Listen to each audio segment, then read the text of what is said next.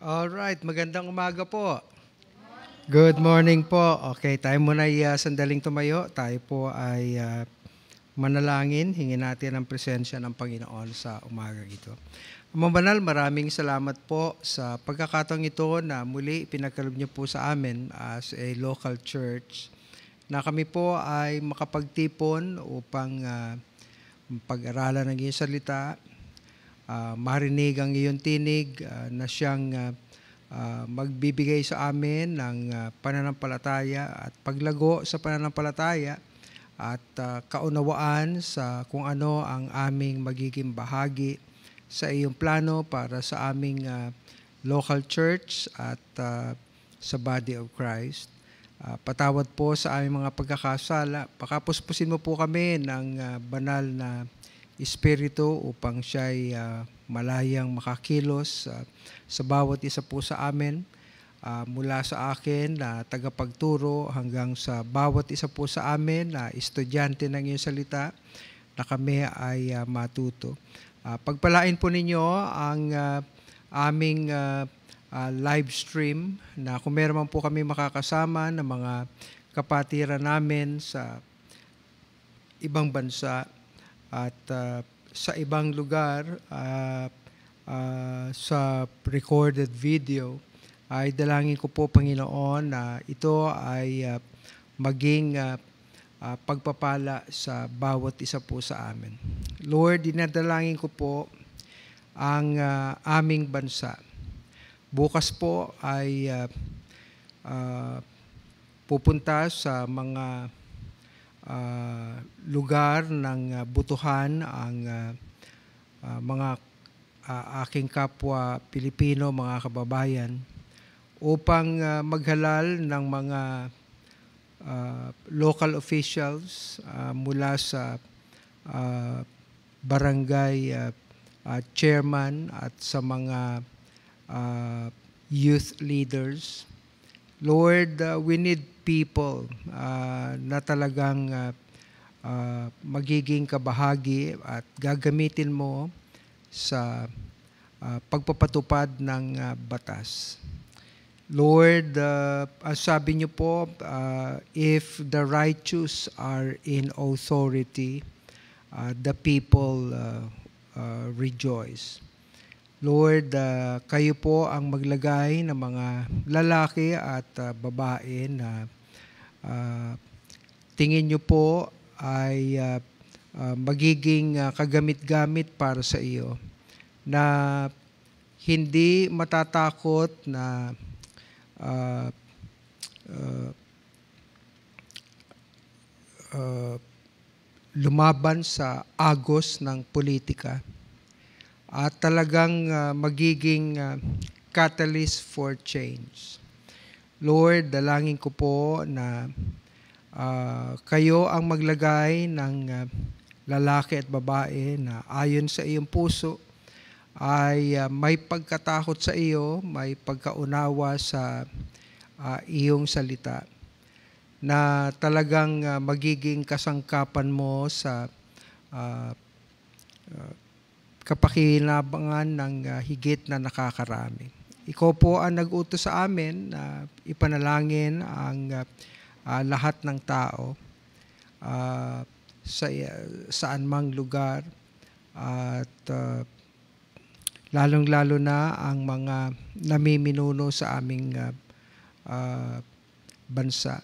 Kaya isinasama na rin po namin uh, sa aming panalangin ang aming uh, Pangulo at ang uh, uh, kanyang uh, kabinete na dalangin ko po na bigyan mo siya ng patnubay. Sabi niyo po, ang uh, puso ng mga hari, mga namiminuno ay nasa iyong kamay at uh, kaya mo itong uh, uh, i-direct uh, uh, sa ang direction man na nanaisin mo. Nawa makasumpong ang bansang Pilipinas ng pabor sa iyo na iyo pong uh, uh, i-direct ang puso ng aming uh, presidente at ang lahat ng uh, kanyang kasama sa kabinete na talagang uh, uh, magampanan nila ang mga bagay na uh, magiging uh, uh, daan para ang aming bansa ay uh, umunlad.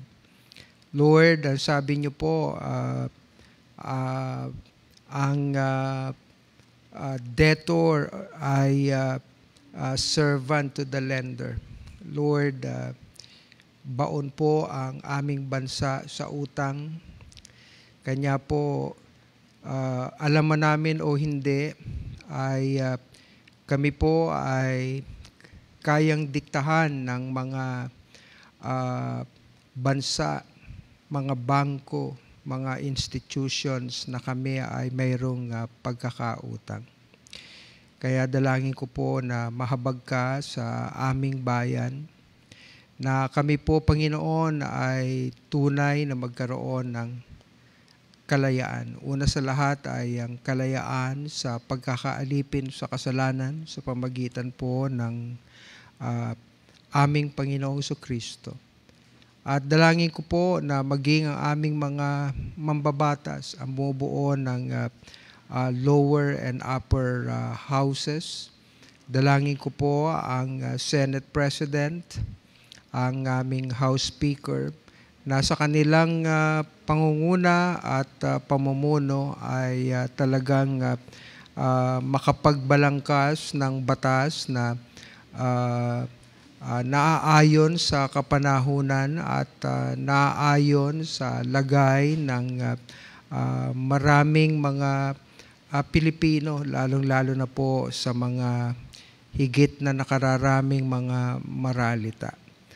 Lord, uh, kayo po ang patuloy na kumilos maging sa aming uh, uh, judicial system. Lord, inilalarawan po ng uh, uh, aming judicial system na ang batas ay may piring na ito po ay uh, uh, uh, should be uh, uh, impartial at uh, walang uh, uh, papaboran mayaman o mahirap man kung hindi ang uh, uh, poproteksyonan ang konstitusyon at uh, uh, papaboran ang tunay na nangangailangan ng katarungan. Sino man siya. Kadalangin ko po, Panginoon, na uh, tulungan niyo po na ang lahat ay uh, wag mabili ng uh, sa anumang halaga at uh, wag madaya ng anumang uh, uh, alok ng uh, uh, sanlibutan, ang uh, kapangyarihan, uh, prestige, pleasures, and even prosperity, Panginoon. Uh, kayo po ang patuloy na kumilos, maging sa uh, bawat iglesia lokal. Lord, ang lahat po kami ay uh, nasa laman na kung wala ang iyong biyaya, ang iyong salita at ang kapangyarihan ng Banal na Espiritu na gagawa sa aming buhay, ay Lord, uh, wala po kaming uh, pagkakaiba sa hindi mananampalataya.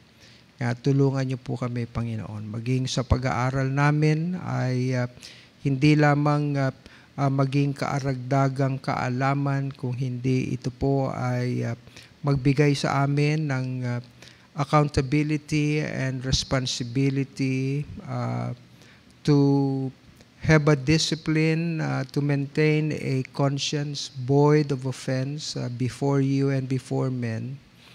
Uh, a responsibility and accountability to share what we have to others. Lalong-lalo na po ang uh, biyaya ng uh, uh, mensahe ng uh, ebanghelyo ng Panginoon Kristo na makapagliligtas sa sino mang uh, sasampalataya. Kayo po ang patuloy na uh, mangunguna kayo po ang patuloy na magpapala. Lord, gabayan niyo po ako. There are too many things uh, going on in my head, uh, in my heart. Uh, uh, hindi ko naman po kayang ituro ng uh, uh, uh, isang bagsakan ang mga bagay na aking nalalaman sa aking mga kapatiran. Kanya, Lord, uh, uh, gabayan niyo po ako one word at a time, one statement at a time, one illustration at a time, and uh, one lesson at a time. At uh, at the end of the day, ikaw ang kumilos, ikaw ang gumawa uh, sa lahat ng naturuan, sa lahat ng nakapakinig. Lord, ang bahagi ko lamang ay ibahagi ang iyong salita. Wala po akong kapangyarihan sino man sa mga mangangaral noon, ngayon at uh, sa mga darating na panahon. Uh, may kapangyarihan na isulat sa isip at puso ang uh, aming mga pangaral, kundi ikaw lamang sa pamagitan ng uh, banal na Espiritu. Uh, gamitin niyo po, Panginoon. Alam mo ang aking puso. Uh, uh, may pagkatakot akong humaharap sa uh, iyo, sa uh, aking mga kapatid, uh, sa iyong bayan, uh, sapagkat uh, ayokong magturo ng mali Lord, uh, tulungan niyo po ako, gamitin niyo po ako.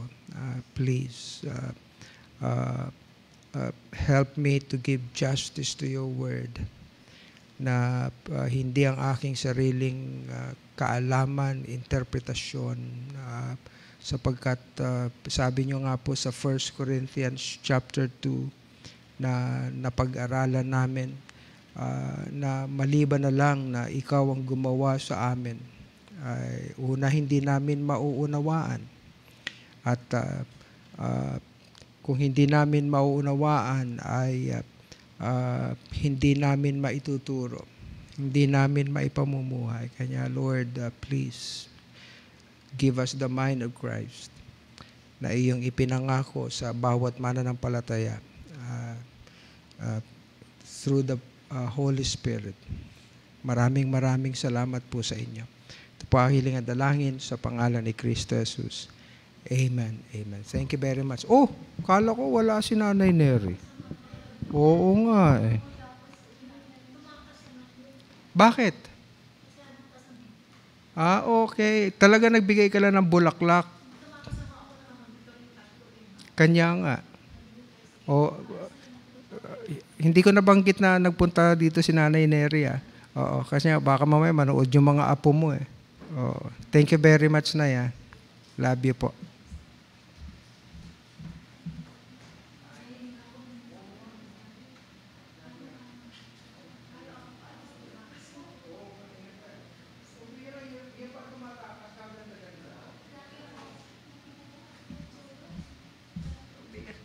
Ang alam ko mga tumatakas, ano eh.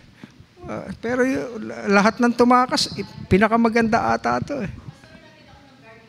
Ah, hinatid ka? Okay, maganda nga yan. Very good. Kilala tayo dyan. Amen. Very good. Maraming maraming salamat po. All right. Hindi, kasi birthday ni Nancy sa, ano, eh, sa November 1 eh. Oo. Uh, kanya, nagtatanong nga ako kung uh, uh, saan kami pupunta. Ano? Eh, itong asawa ko, walang bisyo to eh. All right. Okay, sige po.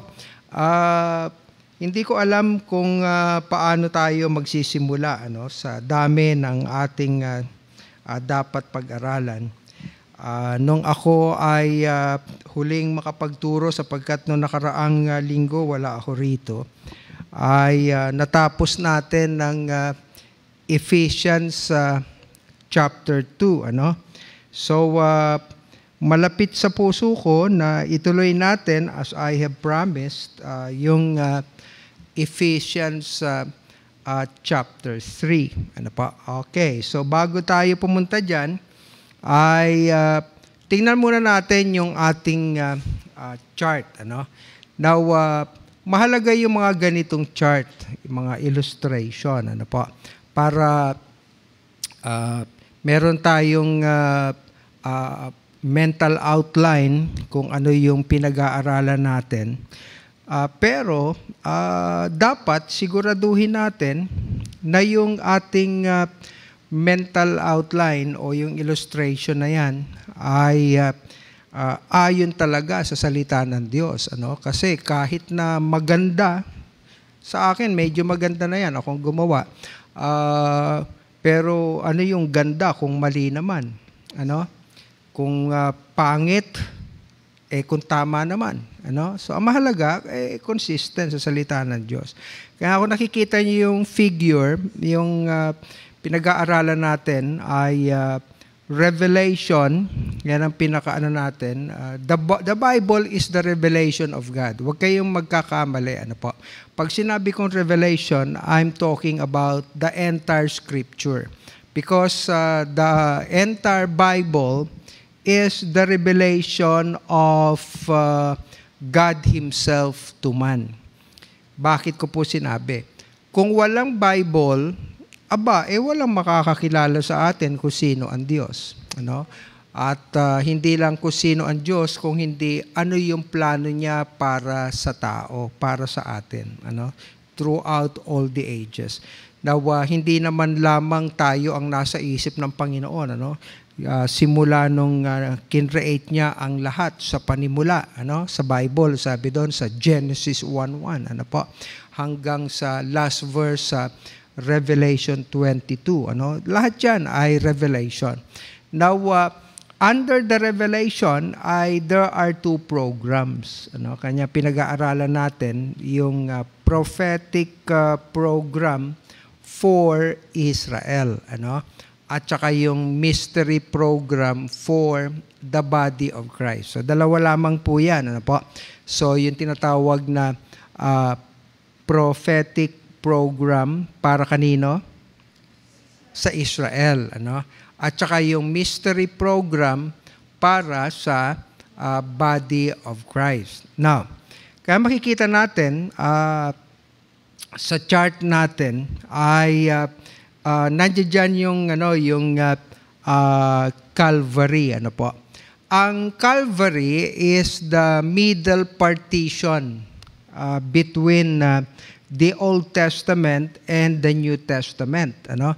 Kaya kung lalakihan nyo yung figure para sa uh, mga nanonood sa atin sa live stream, ay makikita natin. Ano? Na uh, the middle partition between the Old Testament and the New Testament is uh, the cross of Calvary. Ano ba ang significance ng uh, cross at Calvary? Uh, it is the place where the Lord Jesus Christ died, ano po. At uh, alam niyo mga kapatid, madali lang sabihin na si Kristo ay namatay, ano po. Pero kung bakit siya namatay prior to his death, ay it was a mystery. Ano po? Bakit sinabi kong mystery? Yung kanyang pagkakatawang tao, hanggang sa kanyang uh, resurrection ay prophetic. Ano po? May prophecy. Ano po? Uh, maging sa kanyang kamatayan, merong prophecy.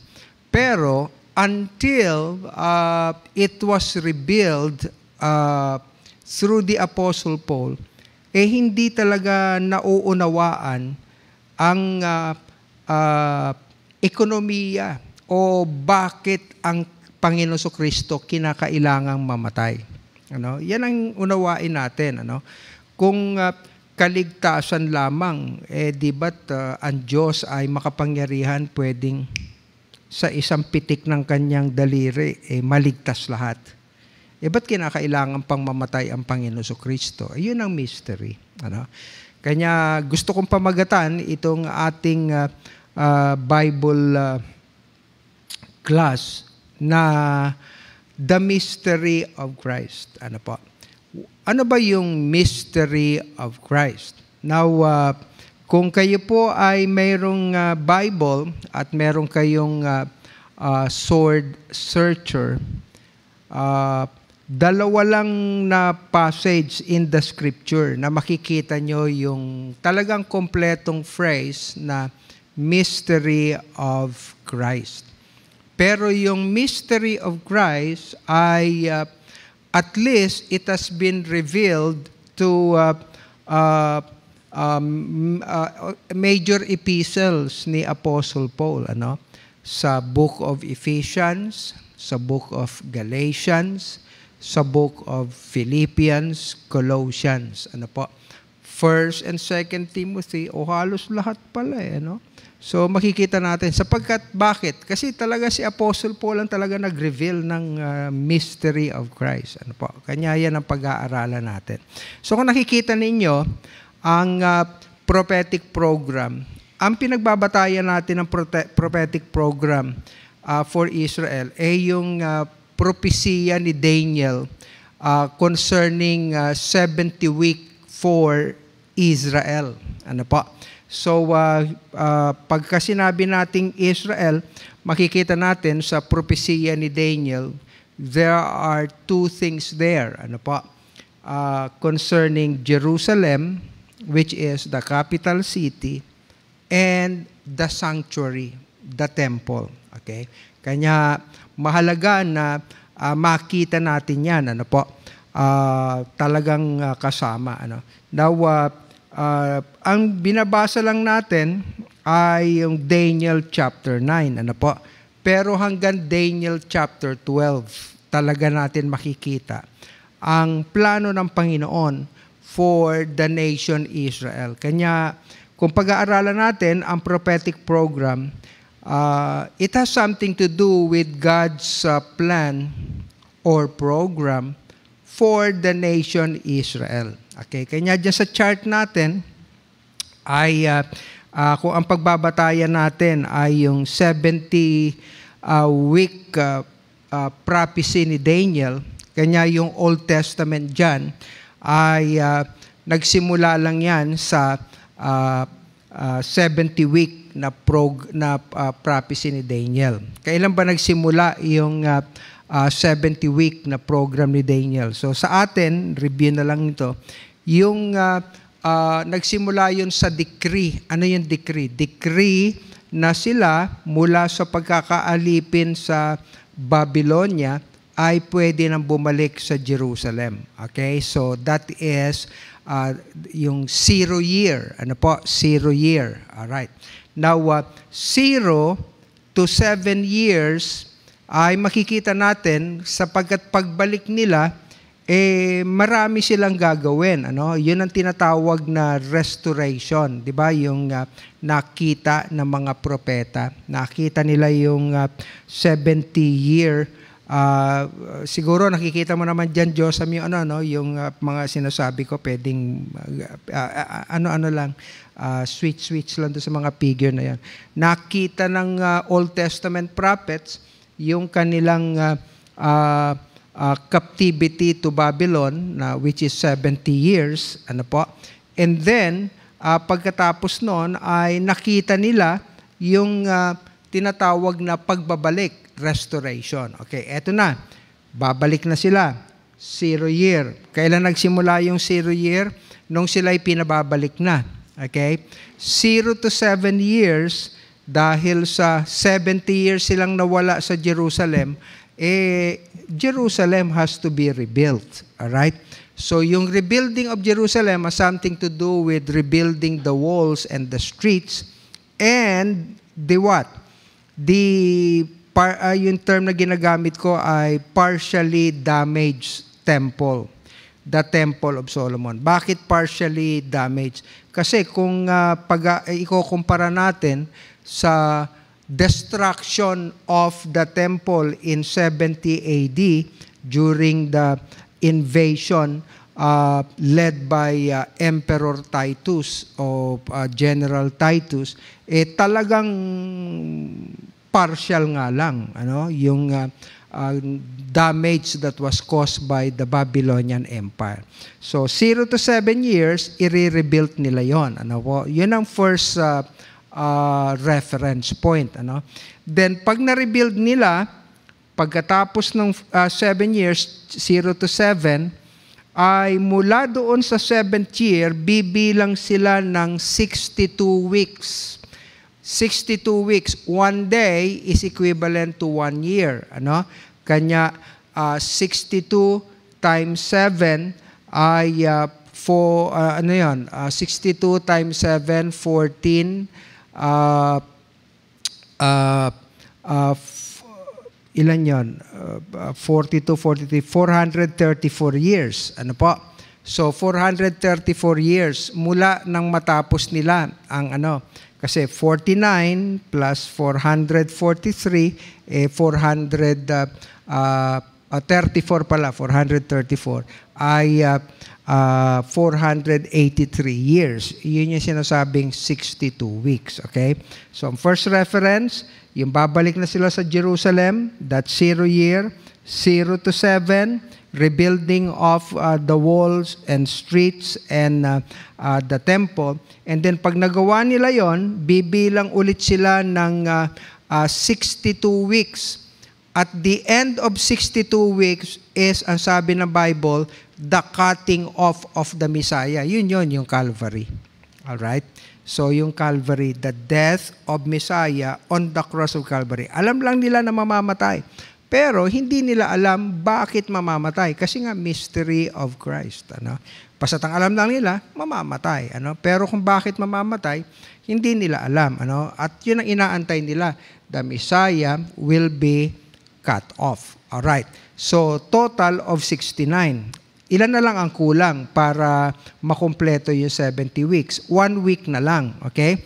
Kanya sa prophetic program, talagang ang pagkaintindi ng mga Hudyo ay pag namatay ang Mesaya, okay, actually, uh, hindi nila pwede sa atin, pag sinabing Mesaya, equal Jesus Christ. Ano po? Sa Israel, sa Israelite, sa mga Hudyo, hindi mo pwedeng sabihin na Messiah equals Jesus Christ. Naintindihan niyo mga kapatid? Sana maintindihan niyo yung pagkakaiba. No? Sa atin, pag sinabi nating Messiah, pwede nating ilagay na Messiah is Jesus Christ. Messiah equals Jesus Christ. Pero sa mga Hudyo, Messiah is not Jesus Christ. Sa makita niyo yung pagkakaiba, ano po? So, uh, cross of Calvary. Kanya sa kanila, pag, that, pag, pag namatay ang Messiah, eh, automatic, eh, yung tinatawag na tribulation. Seven years yon. Yun ang kukompleto doon sa 70 week of Daniel. Ano? Kanya kung titignan ninyo, Matthew 24 ay uh, about tribulation. Ano? Kanya pagka tinanong natin, pagka yung tanong ng mga apostles, di ba? Uh, tingnan niyo, Matthew chapter 24. Matthew 24 ay uh, Uh, kanya, kanya tayo nagbabalik ay para malaman natin o ma-check natin kung uh, yung figure natin eh tama sa Bible. Kasi uh, alisin natin yan kung mali, sa Bible. Unawaan niyo mga kapatid. Alright. Kanya, Matthew 24 is tribulation. Ano po? Kanya ang tanong ng mga apostles ay ito sa verse 3. Matthew 24 and verse 3. And as he sat upon the Mount of Olives, the disciples came unto him privately. Ano po? Uh, kung titingnan natin sa Book of Luke, tatlo lang yan. Ano po? So sabi ng Bible, tell us when, o bilugan po ninyo yung salitang when yung salitang when, pag ang tanong ay nagsisimula sa when, ang sagot pan, uh, ano, time, oras, okay? When shall these things be? And ano yung pangalawang tanong? What? Okay? So what shall be the sign of thy coming and the end of the world? Sinagot ng Panginoon yung tanong nila. At ang sagot ng Panginoon na, na, ng, ng tanong sa tanong nila ng Panginoon, yung when and what is the sign of thy coming and the end of uh, uh, the world. Kasi yung when, tumutukoy sa uh, palatandaan ng kanyang pagdating. Ano po? At yung what ay uh, uh, what is the sign of the end of the world. Actually, sa mga Hudyo, eh, talagang magkaiba yon. Ano po? Bakit? Sapagkat uh, it concerns about uh, tribulation and the millennial kingdom. Kanya, ang sagot ng Panginoon ay from 4 uh, Matthew chapter 24 from verse 4 hanggang verse 51. Matthew 24 is about tribulation. O kayong uh, mga estudyante natin, ano, para wag kayong malito. Matthew 24 is about tribulation. Kanya, when and what is the sign of thy coming, eh, to the Jew, it is the tribulation. Bakit? Sapagkat ang sabi ng Bible, for the Jews seeketh after signs, and the Greeks seeketh after wisdom. Between the Jew and the Gentile, ay talagang dapat alam natin na dinidil ng Panginoon by nature, ano po, ang uh, mga tao. Sabi ng Bible, the Jews seek it after sign. Kanya ang tanong dito, eh, what is the sign? Okay? So sabi ng Panginoon, ito yung mga palatandaan. So, the sign of what will ha- uh, happen during tribulation. Kanya, Matthew 25 is about what? It is about uh, uh, millennium. Okay? Bago mag-commence ang millennium, at ang topic doon ay yung pagdating ng Panginoong Heso Kristo. Remember, may mga parables ng ten virgins ano, na talagang nag-aantay sila sa pagdating ng nung uh, bridegroom. Unawaan niyo mga kapatid? Bakit bridegroom? Eh kasi si Christ ang uh, is espoused to the church. Are you with me? So makikita natin ano po? So uh, uh, bridegroom. Ano?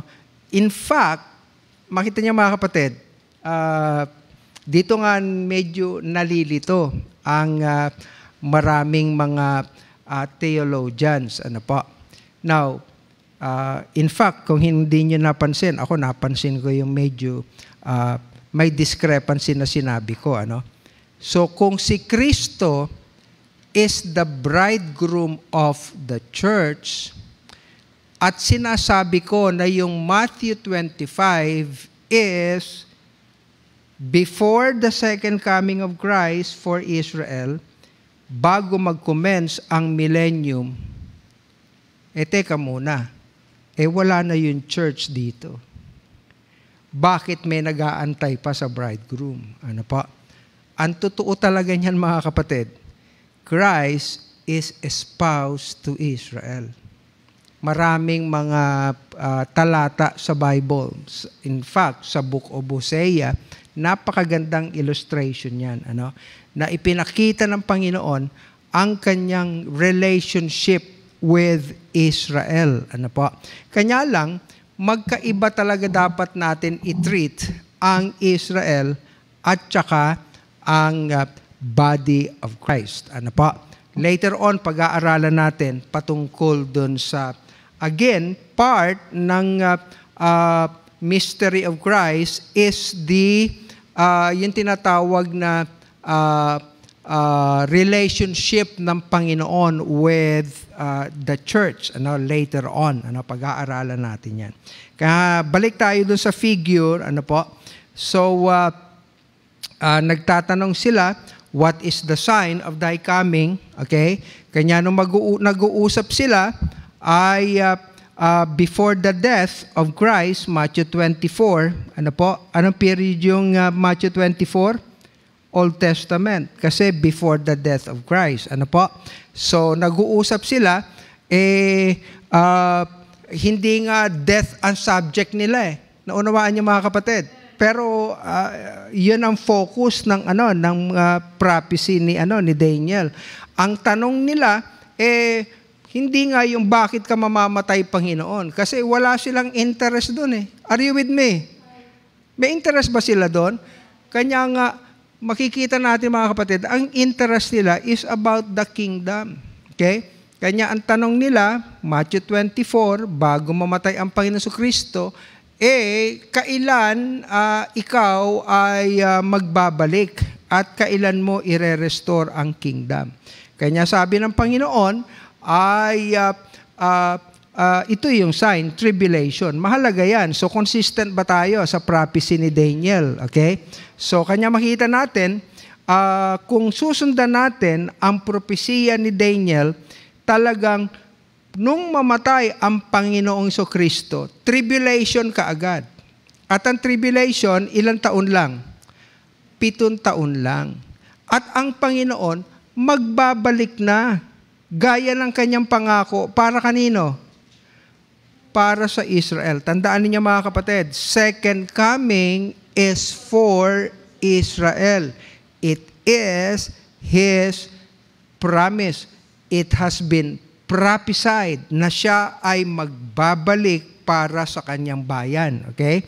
Kanya talagang dadaan sila ng tribulation, alam nila yan. Ano po? 'Di ba nakita natin doon sa what the prophet saw. Okay? So uh, uh, tribulation and then after tribulation, second coming and then simula ng millennial kingdom. Are you with me? Yung millennial reign. All right. Now, eh merong mystery na na-unfold na hindi nila alam. Okay, kanya pakita mo, Josam, yung last uh, uh, slide. Okay? So, tandaan niyo ano, yan ang prophetic program. Ano? Pero, ang hindi nila alam, eh merong mystery program. All right? Now, anong pagkakaiba ng prophecy? Yung prophecy, bago pa nangyari, nakasulat na. Alright? Kasi nga, propesya yan eh, hula. Kanya maaabangan nila kasi nakasulat na sa scripture na meron sila. Ano ba ang meron ng scripture ang mga Hudyo? Eh di ba Old Testament scriptures? Are you with me? Kasi wala pa namang New Testament scripture. Kanya yung mystery program, na-reveal lang kailan? Uh, tingnan niyo sa chart.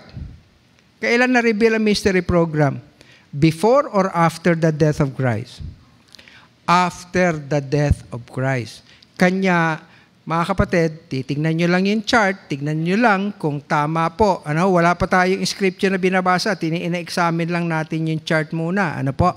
So, uh, uh, sabi diyan, uh, yung mga Old Testament saints, eh hindi nila alam anything about the mystery program.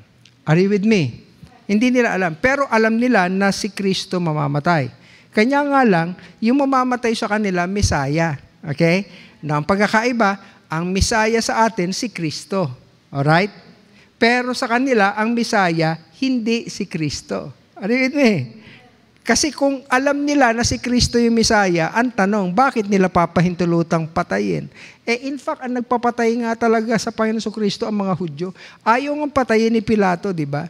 Sabi niya, wala akong nakikitang kasalanan. Si Pilato is a Roman emperor. Ano po? So, pagan yon Ano po? Sabi niya, wala siyang, uh, uh, wala akong nakikitang uh, kasalanan worthy of death dito sa inaakusahan yung uh, uh, si Kristo. Kanya lang, kiniklaim niya na He is the King of the Jews. He is the Messiah. Okay, tinatanggap niyo ba? Eh, hindi nila tinanggap. Sabi niya, hindi yan ang Messiah namin. Are you with me? Kanya pinapat yun ang kasalanan ng Israel, mga kapatid. Kanya makikita natin sa mga darating na mga panahon sa pag-aaral natin, particularly sa Book of Acts. Bago dumating si Paul, kailan dumating si Paul sa Book of Acts? Naligtas siya, Acts chapter 9. Di ba? Tapos, nagsimula siyang magturo by record, eh, Acts chapter 13.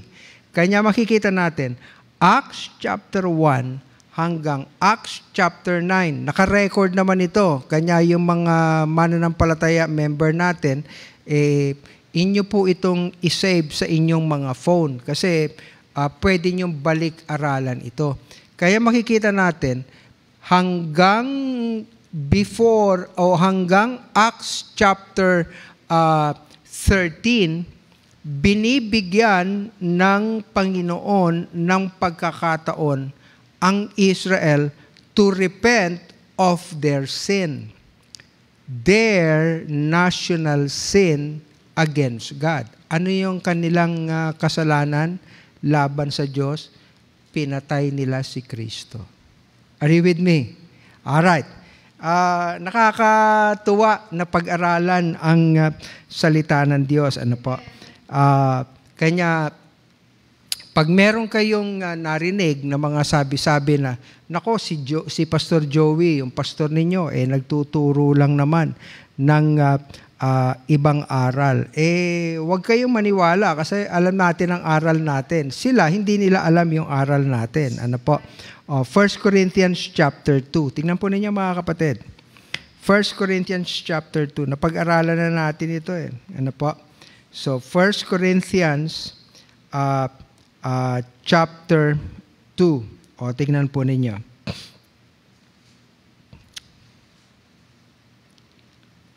Ano ang sabi po sa 1 Corinthians uh, chapter uh, uh, 2?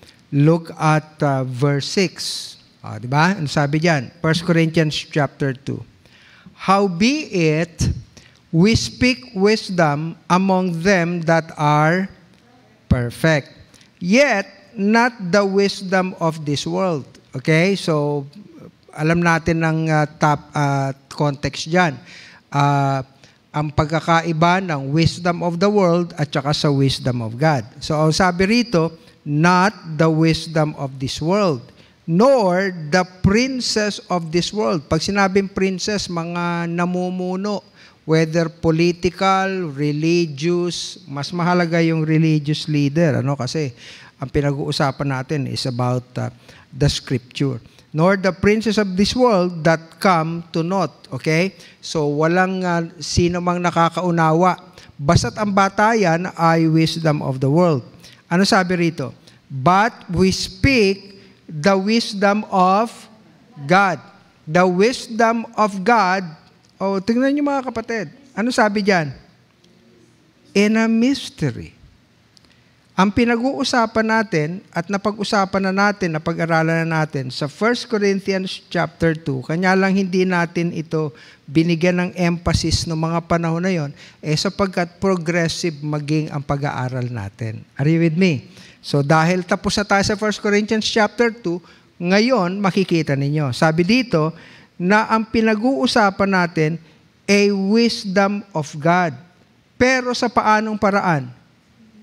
In a mystery. Bilugan niyo yung salitang in a mystery dyan. Ano? Pinag-aaralan natin ang alin? Wisdom of God. Yan ang kalaban ng wisdom of this world. Okay? Ang hindi mananampalataya ay mayroong wisdom of the world. Ano ang meron tayo? Wisdom of God in a mystery. Alright? So, pakiguhitan po ninyo even the hidden wisdom. Anong klasing wisdom? Wisdom na nakatago. Alright? So, pag sinabing nakatago, eh, hindi po yan basta nalaman. Ano? Yan ay uh, nakatago dati, pero inireveal na. Naunawaan niyo mga kapatid. Okay? So, but we speak uh, the wisdom the, the the wisdom of God in a mystery ano raw yan? Even the hidden wisdom which God ordained before the world unto our glory okay? Itinago ang sabi ng Bible uh, pero ito ay nasa plano ng Panginoon okay? Talagang ang plano ng Panginoon may takdang panahon kung kailan lang i-unhide are you with me kahit naman sa Facebook, merong hide comment, ano? Pero pagka hinide mo na, eh, merong pagkakataon na i-unhide mo siya. Okay? Bakit? Kasi siguro willing ka na sagutin. Ano ang mga kapatid? Naka-hide mo na siya. So, sabi ng Bible, itong tinago ay itong pansamantalang tinago ay uh, nakatalaga na, plano na talaga to ng Panginoon. Okay? Nag-aantay lamang ng tamang panahon para ito ay i-reveal. Okay? Sabi rin sabi ng Bible, unto our glory. O tingnan niyo sa verse 8. Ito yung pinupuntos ko kanina pa. Which none of the princes of this world knew. Ano ang hindi alam ng mga princes of this world? Yung, he, yung wisdom of God. Yung hidden wisdom of God in a mystery. Hindi nila alam yon. Alright? Na sabi ng Bible, For had they known it, kasi kung nalaman nila yon, o guhitan nyo to sa Bible ninyo, mga kapatid, they would not have crucified the Lord of glory. Kung alam nila yan, eh, hindi nila papatayin ang Misaya. Are you with me? Alright. At kung makikita ko pa, okay, tingnan ninyo, Matthew chapter 16, okay? Tingnan natin, okay? Matthew chapter 16. Look at verse 21. Yan yung mga kapatid ha, kung talagang uh, yung chart natin ay consistent sa Bible. Ano po? Kasi baka naman na naginip lang si Pastor Joey at pagkatapos eh nagsabi na ng kung ano-ano, ano?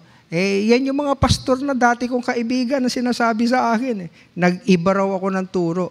Maaring nag-iba ako ng turo kasi nag-aaral na ako ng Bible ngayon. Eh yung dating alam nila, alam ko, pinangangaral ko din yon. Alright. Pero itong alam ko, alam nyo ba? O, di mag-aral kayo. O, tingnan nyo ha. Verse 21. From that time forth, kailan yon?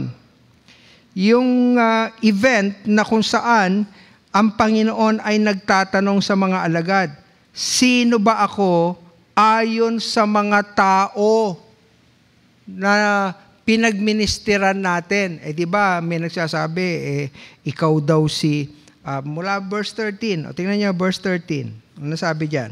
When Jesus came into the coast of Caesarea Philippi, he asked his disciples, saying, Whom do men say that I, the Son of Man, am? Okay?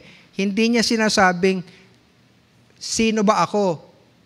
Tinatanggap ba nila ako na ako ay Misaya? Hindi nga eh. Ang pakilala niya, He is the Son of Man. Alright? So, ano sabi diyan? Verse 14. And they said, Some say that thou art John the Baptist. O, oh, halo-halo na sabi nila sa pagkakilala ng tao.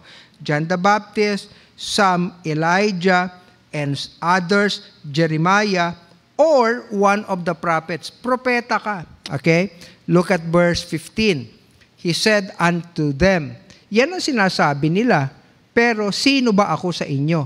But whom say ye that I am? Eh sa inyo, sino ba ako? Okay? Sino sumagot? Si Peter. Look at verse 16. And Simon Peter answered and said, Thou art the Christ. Alright? Thou art the Christ, the Son of the living God. Ano ang title ng ating uh, Bible class lesson? The Mystery of Christ. O, tingnan nyo ha. Sagot ni Peter, Thou art the Christ, the Son of the living God. O, tingnan nyo ha. Huwag kayong mag, mag title pa lang. May direction na tayo. Pinag-aaralan natin is what is the mystery of Christ. Ano sagot ni Peter? Thou art the Christ, the Son of the living God. Ano sagot ng Panginoon sa kanya? Look at verse 17. And Jesus answered and said unto him, Blessed art thou, Simon Barjona, for flesh and blood hath not revealed it unto thee, but my Father which is in heaven. All right? So makikita natin sa verse 17, ikino-confirm na there is a mystery of Christ. Bakit? Kasi itong deklarasyon ni Peter, hindi part ng propesiya. Kasi kung part ito ng propesiya, Hudyo si Peter, alam dapat nila. Ano niyo mga kapatid? Nagtataka ba kayo?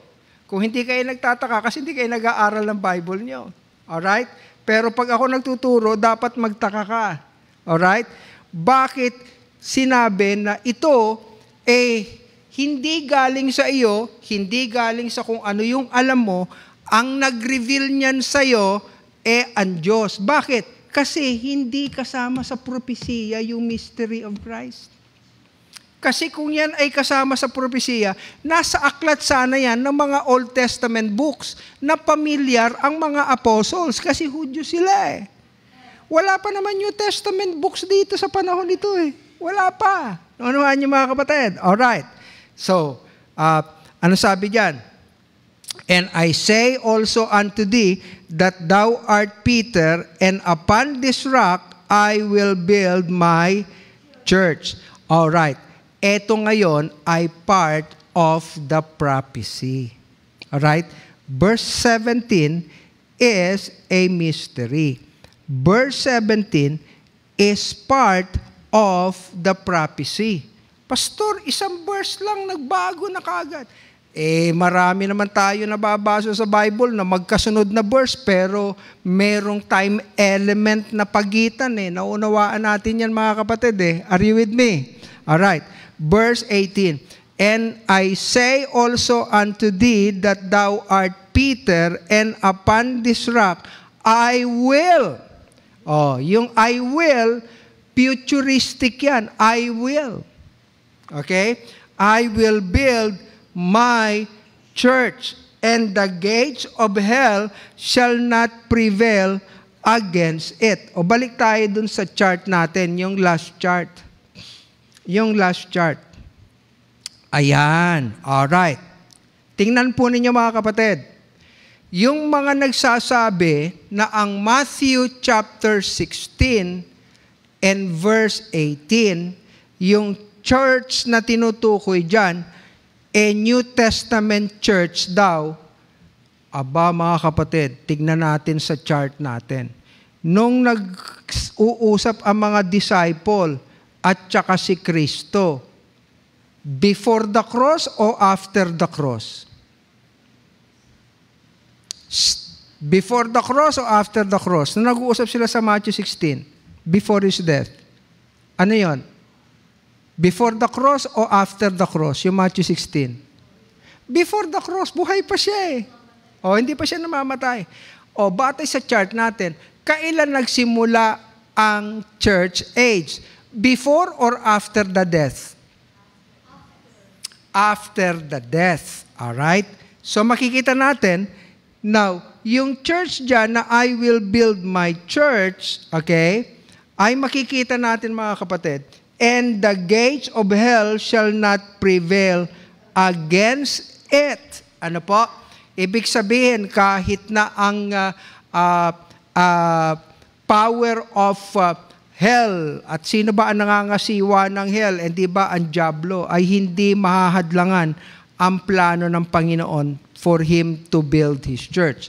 Now, makita niya mga kapatid, kung noong panahon na si Kristo ay hindi pa namamatay at ang kanyang ipinapangaral ay propesiya para sa Israel, para sa Hudyo.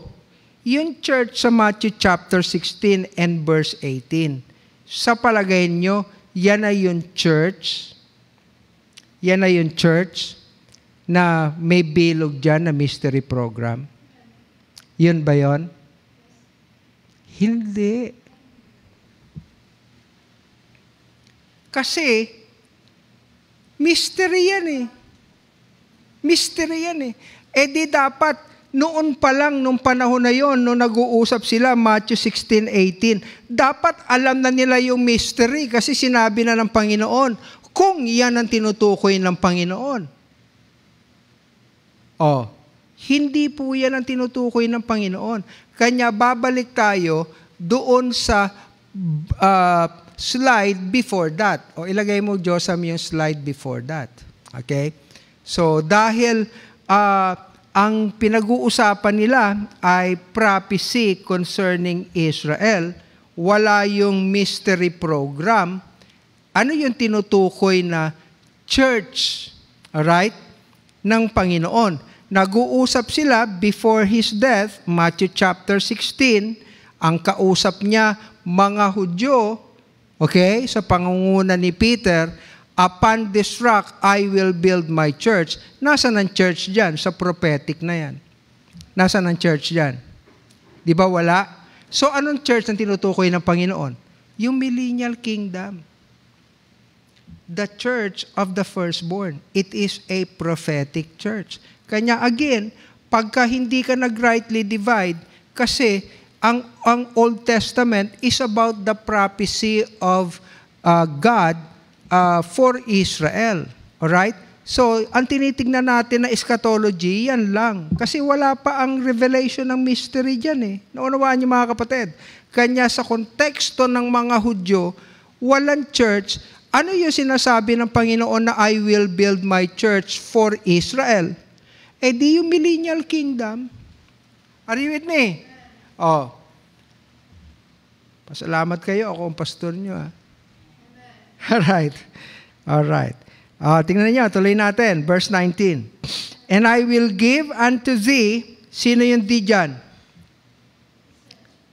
Sabi doon sa verse 18, And I say also unto thee that thou art Peter. Alright? And upon this rock I will build my church, and the gates of hell shall pre- uh, not prevail against thee. And I will give unto thee. Sino yung thee dyan sa verse 19? Si Peter, siya yung kausap eh. Si Peter, siya yung kausap. And I will give unto you the keys of the kingdom of heaven, and whatsoever thou shalt bind on earth shall be bound in heaven, and whatsoever thou shalt loose on earth shall be loose in heaven. Same principle ito mga kapatid na ang lahat ng mga bansa ay pagpapalain through Israel.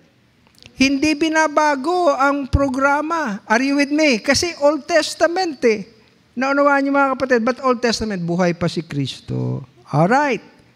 Buhay pa si Kristo. Wala pa nga New Testament scriptures dito. Ang lahat ng kanilang binabasa, Old Testament scriptures. Naunawaan niyo mga kapatid? Alright. Verse 20. Then charge he his disciples, ano sabi diyan? That they should tell no man that he is Jesus, the Christ. Ano sagot ni, uh, ni Peter? Thou art the Christ, the Son of the living God. Sabi dun sa kanila sa verse 20, He charged His disciples. Anong utos? Huwag nyo munang sasabihin kanino man that I am the Christ. Bakit? Kasi kung sasabihin nila kung si Kristo yung Christ, eh hindi pa nga nila alam what is the mystery of Christ. Hindi ka pwedeng magdeklara ng bagay na hindi mo alam. Tandaan ninyo mga kapatid, the mystery was revealed to whom? to Paul. Dalawa lang naman yan eh. Revelation, iisa lang yan. This is the revelation, okay? So, uh, pinapadali ko mga kapatid. Kung dito sa pag, pagpapadali ko, hindi po niyo makukuha, hindi na talaga ako marunong magturo. Revelation. Okay? This is the entire revelation of God Himself to man. Kanya lang, sa Revelation, may dalawang programa. Ano yung programa? Prophetic program para kanino? Sa Israel at mystery program for the body of Christ. O, ganun lang kadali. Ano po? Alright. So, wag mo nang sasabihin na siya ay si Kristo. Anong subject natin? Ngayon? The mystery of Christ. Kanya, It's about Christ. Declaration ni Peter, Thou art the Christ. Sabi ng Panginoon, kanino galing yan? Hindi yan sa iyo. Wala kang alam dyan. Nireveal lang yan sa ng Panginoon kasi hindi mo pa nababasa. Kahit na sa mga Old Testament books. Wala yun. Naunawaan niyo mga kapatid. Kasi wala naman silang ibang hawak kundi Old Testament books. Puro prophecy. Alright. Pagdating sa verse 20, wag nyo munang sabihin. Bakit hindi nila kinakailangan sabihin? Kasi wala pa silang alam doon. Hindi pa nare-reveal. Kailan ni-reveal yun? Nung dumating si Apostle Paul. Kailan dumating si Apostle Paul? After ng death ng Panginoon sa Kristo. Acts chapter 9 na siya. Are you with me? O, naunawaan niyo mga kapatid ha? Inuunti-unti ko kayo ha? Alright. So, look at verse 21. Ay, nako, ma-appreciate niyo talaga ang Word of God. From that time forth, began Jesus to show unto whom? His disciples, His apostles, and other disciples. Yung ibang mga, hindi naman apostle, pero uh, habol-habol, sama-sama sa Kanya. Ano sabi doon? Ano yung pinakita niya? In, excuse inire-reveal niya sa kanya mga disciples. Pakiguhitan niyo sa inyong Bible. How that He must go to Jerusalem. Dapat. He must. Okay? Hindi maiiwasan. Nasa plano.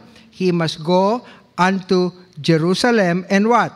Suffer many things of the elders and the chief priests and the scribes, maraming magpaparusa sa kanya mula sa mga elders ng Israel. Alright? So ito yung chief priest. Dapat nga, alam nila yan eh. 'Di ba? Sabi ng Bible, neither the princess of this world knew. Sapagkat sabi sa 1 Corinthians chapter 2, kung alam nila, aba, hindi nila papatayin. Oh, yun lang ang sinasabi ko sa inyo mga kapatid. Comparing scripture with scripture, rightly dividing the word of truth. Okay? So, hindi lamang natin pinag-aaralan yung chart natin kung tama, tinitignan natin kung hindi tayo nagbabiolate ng scripture. Ano sabi diyan? Ang sabi diyan, suffer many things of the elders and chief priests and scribes. At ano sabi doon? Ano yung tinuro? Matapos yung encounter kay Peter, ha? Matapos yung encounter kay Peter, na ni-reveal na siya yung Christ. Are you with me? Alright? Ano sabi diyan? That he shall be what? Killed and be raised again the third day. O ayan, sinasabi na ng Panginoon, pupunta ako sa Jerusalem, paparusahan ako doon, papatayin ako. Pero pag napatay nila ako, sa loob ng ikatlong araw, ako'y mabubuhay na magmuli. Tingnan natin kung naiintindihan nila yan. O look at verse 22. Makinig kayo, mga pastor. Then Peter took him and began to rebuke him, saying, Be it far from thee, Lord, this shall not be unto thee. Kadideclare lang ni Peter, Thou art the Christ. Kailan, sin, paano niya na-declare? Galing ba sa alam niya? Hindi. Naging spokesperson lang siya ng Panginoon before the other apostles. Kasi ang tanong ng Panginoon, eh sa inyo, sino ba ako? So dahil sa si Peter ang ginamit na spokesperson, gin, ibinigay sa kanya yung tamang sagot sa tanong. Eh kasi leader yun eh. Kasi kung mali ang sagot ni Peter, panghahawakan ng mga mga ibang apostol yun eh. Kanya ibinigay kay Peter yung sagot. Pero naiintindihan ba ni Peter yung sagot niya? Hindi. Kasi ano nga yun? Mystery of Christ. Tingnan natin kung naiintindihan ng mga apostles yung mystery of Christ. Ano sabi diyan? Then Peter took him. Aba, hinawi nga ni Peter. Abay, Panginoon, hindi dapat mangyari sa iyo yan. Hinawi, be it far from thee. This shall not be unto thee. Hindi dapat mangyari sa iyo yan. Ang alin? Na as si Kristo ay mamamatay at si papatayin at siya ay muling mabubuhay. Ayaw mangyari ni Peter. Kanya tingnan ninyo mga kapatid. Oh, verse uh, 23. But he turned and said unto Peter, Get thee behind me, Satan. Thou art an offense unto me, for thou art savors not the things that be of God, but those that be of them. Kabibigay lang sa kanya ng susi. Not even the gates of hell shall prevail against it. Ano yung it? Yung mystery of Christ. Kabibigay lang sa iyo. Oh. Ano sabi diyan? Get thee behind me, Satan. Bakit even the gates of hell shall not prevail against it? Si Satan lang naman ang ahadlang sa kalooban ng Panginoon eh. Are you with me? Pero kahit na hadlangan ni Satanas, hindi niya alam kung bakit mamamatay ang Panginoon sa Kristo. Kahit na si Satanas, hindi niya alam. Because it is a mystery. Are you with me? Kasi kung alam ng Diablo, makinig kayo mga kapatid, ito, wala na sa Bible, okay? Pero ito'y inference natin. Sa palagay ninyo, kung alam ng Diablo yung mystery of Christ, di ba siya yung nagbubulong ng maling aral? Eh kung ibinulong niya sa iba, huwag niyong papatayin si Kristo. Kasi may nakatagong misteryo dyan. Aba ay pambihira magiging daan ng kaligtasan by grace through faith ng maraming tao. Eh ayaw ng Diablo yun eh. Sa palagay ninyo, alam ng Diablo? Hindi niya rin alam yan. Alright? Kanya nga, it is a mystery hidden. Are you with me? Sabi ng Bible, in God. Hindi nga natin kita ang Diyos eh. Maita, makikita pa natin ang itinago ng Diyos. Kahit na nga yung Diablo, hindi niya nakita yan. Naintindihan niyo mga kapatid? Oh, kanya ang tanong, yung bang kamatayan ni Kristo, alam nila o hindi? Alam. Kasi may propesya eh. Nga naka-prophesied eh. O balik do sa ano sa chart Joseph, yung uh, yan, o di ba? So, alam ba nila na si Kristo mamamatay? Kasi ayon sa uh, propesya ni Daniel, yung uh, uh, at the end of 69 weeks, the Messiah will be cut off. Alam nila o hindi? Alam nila kasi part ng prophecy. Are you with me? Huwag kayong malilito mga kapatid.